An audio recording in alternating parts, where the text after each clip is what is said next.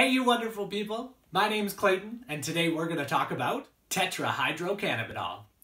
Most commonly referred to as THC, tetrahydrocannabinol is the primary psychoactive molecule in the cannabis plant. Along with over a hundred other phytocannabinoids, THC is by far the most studied. THC was discovered in 1964 by Dr. Rafael Mechoulam and his team. About 20 years later, Dr. Allyn Howlett discovered that our bodies have specific receptors THC binds to.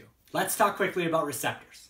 All throughout our bodies, we have neurons, and they communicate to each other through neurotransmitters. THC binds itself to our CB1 receptors and acts as a neurotransmitter, telling our body what to do.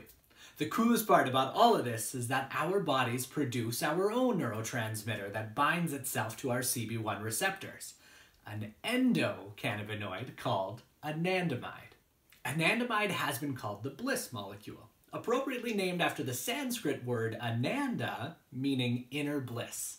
Anandamide is produced by our endocannabinoid system, and it plays an important role in mediating things like pain, appetite, depression.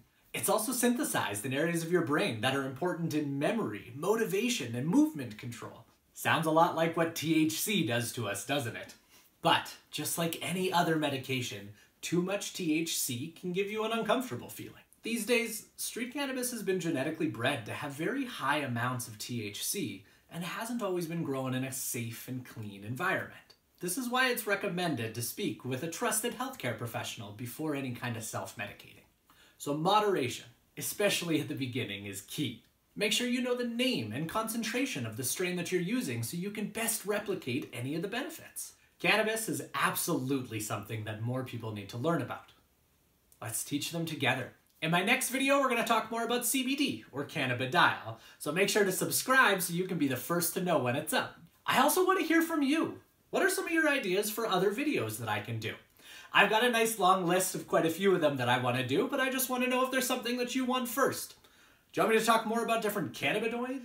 Did you want me to talk more about terpenes? Like, or did you want me to just talk about maybe some of the potential negative effects from cannabis here? Leave what you want to see in the comments below. And don't forget to check out some of the other videos on my channel. Have a great day, everyone. Thanks for watching.